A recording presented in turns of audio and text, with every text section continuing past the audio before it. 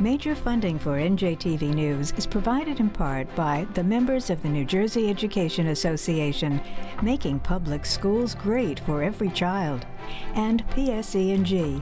We make things work for communities.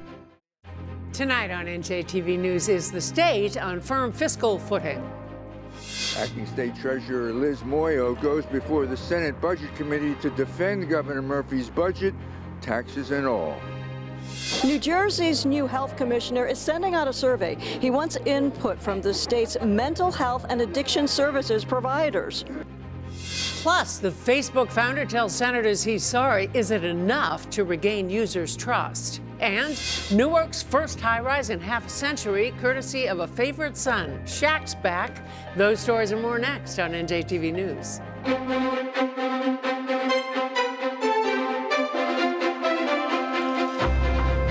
Live from the Agnes Varis NJTV studio at 2 Gateway Center in Newark, this is NJTV News with Mary Alice Williams.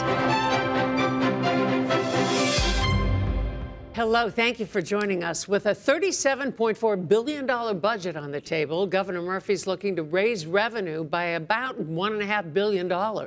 Today, lawmakers heard the acting state treasurer talk turkey and taxes. Chief political correspondent Michael Aron reports. This FY19 budget sets a new trajectory for New Jersey. Acting State Treasurer Elizabeth Maher Muoio this afternoon defended Governor Murphy's proposed budget. She said the state has a structural deficit, that natural revenue growth is not enough to fix it, and so some new taxes are necessary. This is not only unsustainable, it is unacceptable. And the governor is proposing a series of new revenue and budget initiatives to get our fiscal house in order. One new measure is that the state will now hold on to energy gross receipts money. It has long been an off budget item and given entirely to municipalities. Now the Murphy budget directs that money into the general fund while promising to deliver it all in municipal aid. It's about $800 million. I really believe you're going to have a big lift concerning the energy tax. Uh, I know in my own district, mayors are encouraging to increase that dedication. And even though the promise is being made that the money will be the same, as I always say, I think the reason that people have accepted the gas tax is because it was dedicated for that particular purpose. And to be taking something that's dedicated away, uh, I think is problematic. The governor wants to hike the income tax on the very wealthy and restore the sales tax to 7 percent. All the while, he is promising to increase school aid, higher education aid, and funding for New Jersey Transit. Promises are, are easy to make, payments are difficult. Uh, right this year, we hear a lot about one-time uh, or, or down payments into the budget. Can you tell me, has there been any extrapolation as to, as to um, what next year's budget is going to look like because of the down payments this year or the, say, two or three years out? We're going to have to work every year and look at every year how, we, how we're trending out. I mean, we have estimates looking at what, you know, the, the K to 12 funding is the first of a four-year formula. As I said in, this, in my opening, this is many of these initiatives are setting us on a path to completion. In the morning, the Office of Legislative Services warned the Senate Budget Committee not to keep dedicating certain taxes to certain programs. Dedication of revenue absolutely has its place, and these are policy, important policy choices that, that you can make. And in fact, the, the dedications that I referred to have been approved not just by the legislature, but by the voters. Those are constitutional dedications. But yes, when we divide money into silos, then we have a certain, uh, we, we've accepted certain limits on our flexibility. Committee Chairman Paul Sarlo says it's too early to seriously consider the tax hikes. We may see unprecedented uh, tax collections on this April 15th um, due date. Um, so before we can consider, and I've been saying that, before we discuss new revenue raisers or new taxes, I think we need to get a handle on how much revenue is coming in from uh, this last round of tax collections in the current fiscal year. The Treasurer and OLS repeat this exercise tomorrow before the Assembly Budget Committee. At the State House, I'm Michael Aron, NJTV News. The social network under scrutiny. Representative Frank Pallone says stronger protections are needed to protect Facebook users' privacy. Representative Leonard Lance wants to know whether Facebook violated an earlier privacy deal. They can ask Facebook founder Mark Zuckerberg that tomorrow. Today, it was the Senate's turn to call him on the carpet. Senior correspondent David Cruz has been following the proceedings. David? Mary Alice, Zuckerberg and Facebook have been under fire for a series of data breaches involving Russian hackers and app developers who spread fake news, fake ads, and fake profiles to use member data in an effort to influence last year's U.S. elections. It also reported that as many as 80 million accounts were accessed by a data mining company called Cambridge Analytica, which had been hired by the president's campaign. Facebook says so called malicious actors have accessed data of just about every Facebook account. That's 2.2 billion people. Today, Zuckerberg faced a joint hearing of the Senate Commerce and Judiciary Committees and got an earful. Here's a sample of some of that Q&A. It's not the first time that Facebook has mishandled its users' information. The FTC found that Facebook's privacy policies had deceived users in the past. And in the present case, we recognize that Cambridge Analytica and an app developer lied to consumers and lied to you, lied to Facebook. But did Facebook watch over the operations? We want to know that. And why didn't Facebook notify 87 million users that their personally identifiable information had been taken? We didn't take a broad enough view of our responsibility, and that was a big mistake. And it was my mistake, and I'm sorry. I started Facebook, I run it, and I'm responsible for what happens here. So now we have to go through our, all of our relationship with people and make sure that we're taking a broad enough view of our responsibility. Wired magazine recently noted that you have a 14-year history of apologizing for ill-advised decisions regarding user privacy, not unlike the one that you made uh, just now in your opening statement. After more than a uh, decade of promises to do better, how is today's apology different, and why should we trust Facebook to make the necessary changes to ensure user privacy and give people a clearer picture of your privacy policies? What I think we've learned now across a number of issues, not just data privacy, but also fake news and foreign interference in elections, is that we need to take a more proactive role and a broader view of our responsibility. It's not enough to just build tools. We need to make sure that they're used for good. And that means that we need to now take a more active view in policing the ecosystem um, and in watching and kind of looking out and, and, making sure that all of the members in our community are using these tools in a way that's going to be good and healthy. I assume um, Facebook's been served with subpoenas from the special counsel Mueller's office. Is that correct? Yes. Have you or anyone at Facebook been interviewed by the special counsel's office? Yes. Have you been interviewed? I have not. Zuckerberg is scheduled to testify before House committees tomorrow. Facebook's influence stretches around the world. It's been used to organize everything from shopping meetups to anti government demonstrations. But the company's success hinged on the confidence of its users that their privacy is being protected. Once that's gone, even a billion dollar empire like Facebook can dissolve very quickly. Mary Alice. Thank you, David. A great divide tops today's business news. Standing by at the Strategic Development Group studio at the NJCU School of Business is Rhonda Schaffler. Rhonda? Mary Alice, South Jersey is getting shortchanged when it comes to state funding. That's according to a new report by the Rutgers University Camden Walter Rand Institute for Public Affairs. The survey found the poorest South Jersey communities receive a third less in total state funding compared to poor municipalities elsewhere in the state, and the report also found that regional gap is growing. The study looked at state funding from the years 2008 through 2016. A new federal initiative designed to increase investments in some distressed communities throughout New Jersey is moving forward. The federal government has decided that 169 municipalities recommended by Governor Murphy will be able to participate in what's called the Opportunity Zone program. That program aims to boost the local economies of poorer areas by providing tax breaks to investors who fund businesses there.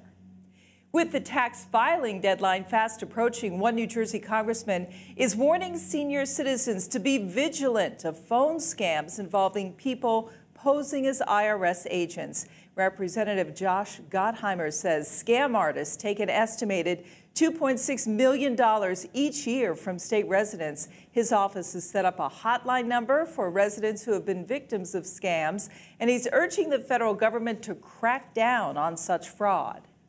This is Equal Pay Day, which is designed to raise awareness of the gender pay gap. According to the National Women's Law Center, women in New Jersey earn 81 cents for every dollar earned by a man. Women of color earn less than that. There is an effort to change this, though, as New Jersey lawmakers have approved legislation to strengthen pay equity Governor Murphy tweeted today that two weeks from now, he will sign that legislation, which would ban employers from paying women less than men for substantially similar work. It would allow victims of discrimination to sue for up to six years of back pay. That is up from the current cap of two years. The governor called it the most sweeping equal pay legislation in America. NJ Transit is sprucing up its Elizabeth station. The agency's board has approved spending $49 million to hire a Maplewood firm to design and build a new station that will include longer platforms for boarding, improvements to communication systems, and new inbound and outbound station buildings. On Wall Street today, stocks rally. The Dow is up 428 points. And those are our top business stories.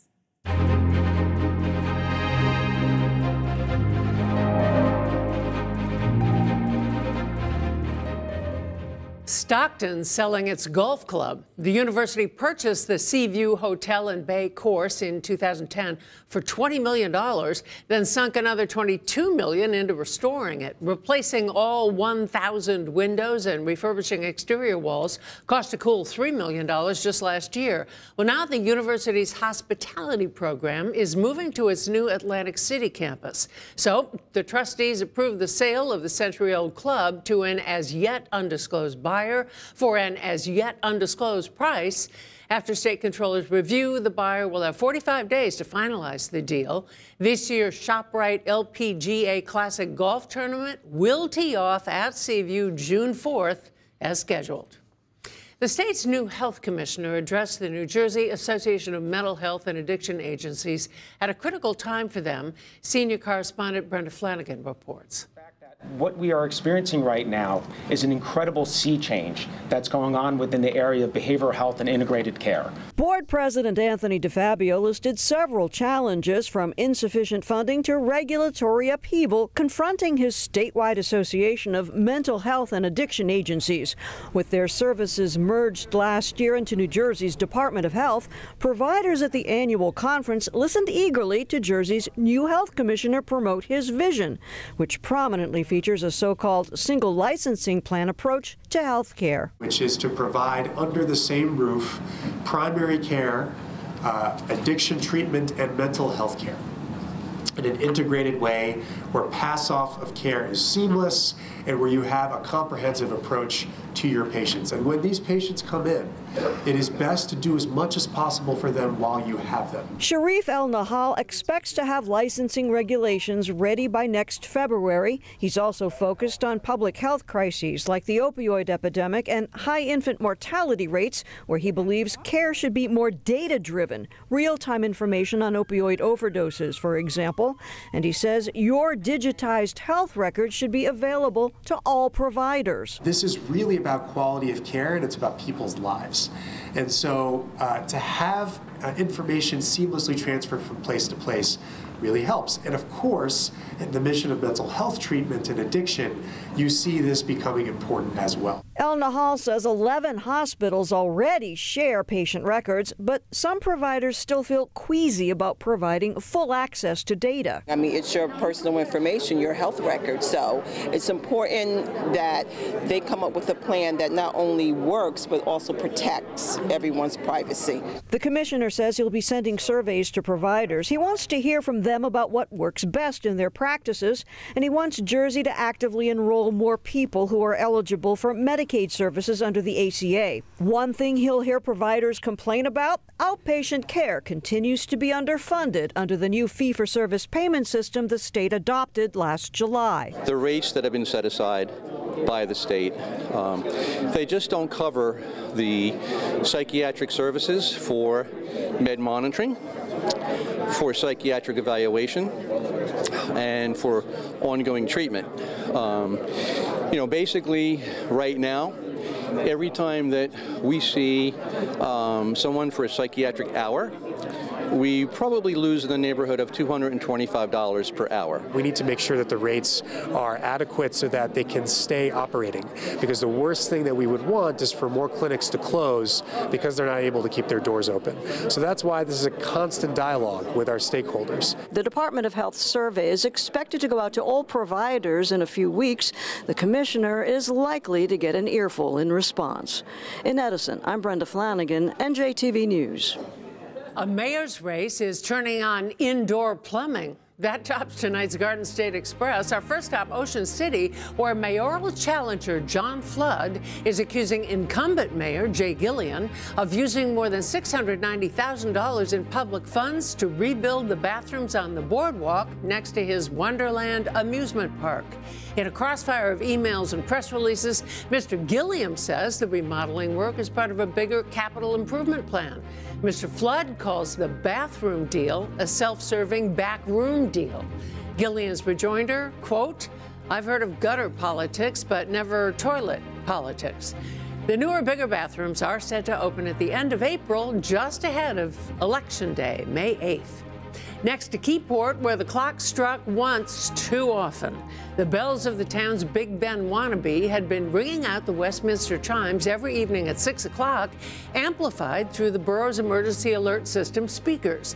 The tradition, since 2005, served the dual purpose of testing the system and telling the kids it's dinner time. Alas, the Monmouth County Department of Health's environmental coordinator said the chimes violated the State Noise Control Act of 1971 and had to be stifled. They were. Now the bell ringers are lobbying to change the law. Finally, Jersey City and Throwback Monday to celebrate its 50th anniversary. Helen's Pizza on Newark Ave rolled back the clock to 1968, selling a piece of the pie for 25 cents a slice. The pizzeria was opened by owner Steve Kalkanidis' father, Nicholas, who immigrated from Greece. Nicholas passed it to Steve in 1984, and Steve plans to pass it on to his son. Meantime, the lunchtime party drew a crowd of people armed with quarters who purchased 1,000 slices by 4 o'clock. And that's the Garden State Express for Tuesday, April 10th. Something up in your neighborhood? Tip us off.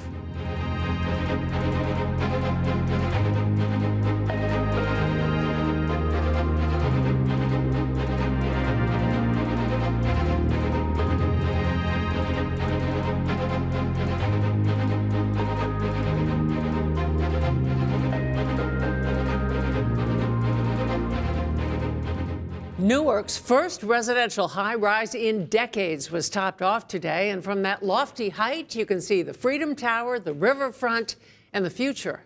Michael Hill reports. In 1992, me and my mother was uh, visiting some relatives, and my mother says to me, I remember when this city used to be beautiful. Somebody needs to come come by and invest in the city and make it beautiful again.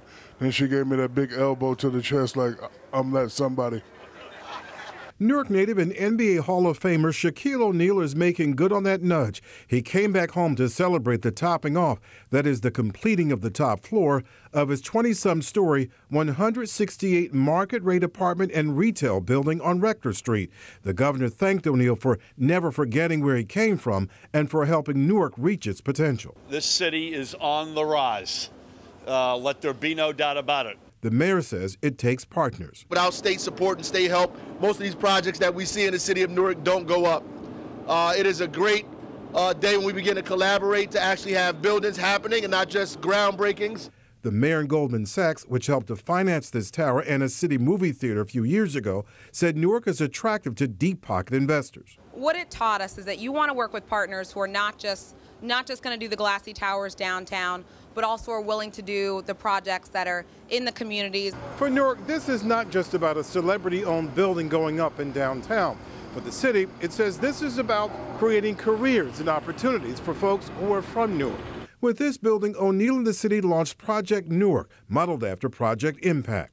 That program is to give a helping hand to women, minorities, and veterans looking to get a career in the construction trade. Not just opportunities for workers, but for the developers of the project as well.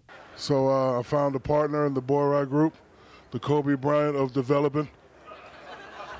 We are so proud that even though this is the first high rise in Newark in 50 years, what it really represents is 50 years of progress. Because 50 years ago, someone that looks like me and my family, some the, the people that work on our project, lenders like Margaret and Sherry, it was a different group of people doing these projects 50 years ago, and that's progress. Shaq Towers offers spectacular views of the area across the Hudson to Manhattan and up the Passaic. O'Neal announced another $150 million, 35 story building of 350 market rate apartments on McCarter Highway and a business mogul who plans to occupy the top floor. On Monday, Wednesdays, and Friday, you find me up here. On Tuesdays and Thursdays, I'll be up here in this area right here.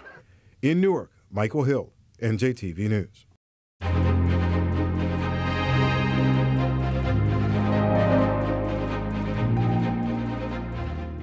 People who are frail or homebound in a swath of Monmouth and Ocean counties are getting just the help they need, and their helpers are getting something too.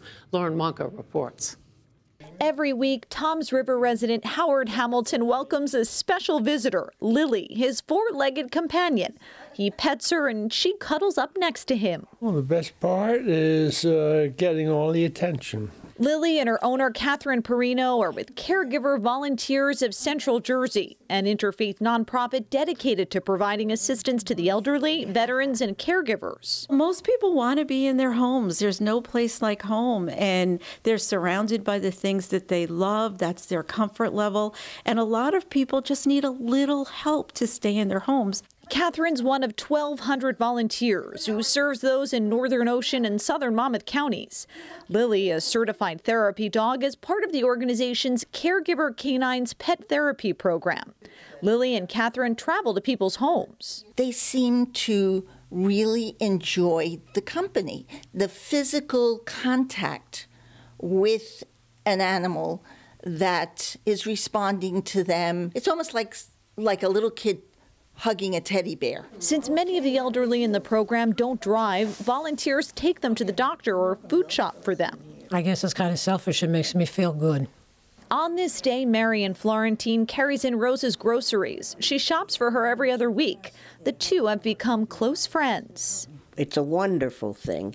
I don't know what I would do without this service. The nonprofit also has a program for caregivers of individuals with Alzheimer's disease or dementia.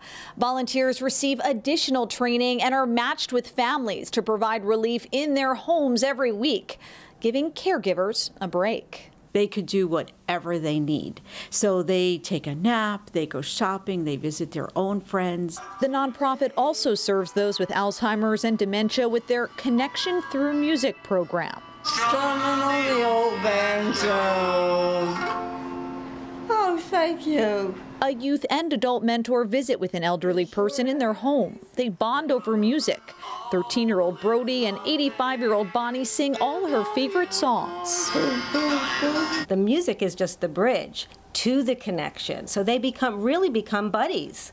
and friends, and it's an amazing phenomenon. Bonnie's in a rehab facility. Brody now visits her here. It's awesome. I mean, seeing her smile all the time, it's amazing. The 85 year old says the music reminds her of her childhood. Oh, it just makes you feel like I'm back in West Virginia. Caregiver Volunteers of Central Jersey conducts background checks on their volunteers. The nonprofit, which serves about 2,000 people, relies on private donations and some public funding. These volunteers insist they benefit from the experience as much as the people they're helping. They start out as strangers and they become family. In Toms River, I'm Lauren Wanko, NJTV News. And now some noteworthy facts that help you know Jersey. State funding assistance accounts for almost 25% of all revenue received by local governments in New Jersey. The National Women's Law Center reports women in New Jersey earn 81 cents for every dollar earned by a man. An average of 7,526 passengers travel through Elizabeth Station on weekdays, and Newark's native Shaquille O'Neal was inducted into the NBA Hall of Fame in 2016. If there's someone who you'd like to get to know Jersey, share. Use hashtag KnowJersey. Tomorrow on NJTV News, preserving Cowtown for posterity. It's not our first rodeo, but it's weekly. To share any story you've seen tonight, go to njtvnews.org. I'm Mary Alice Williams. For all the men and women of NJTV News, thank you for being here. See you tomorrow.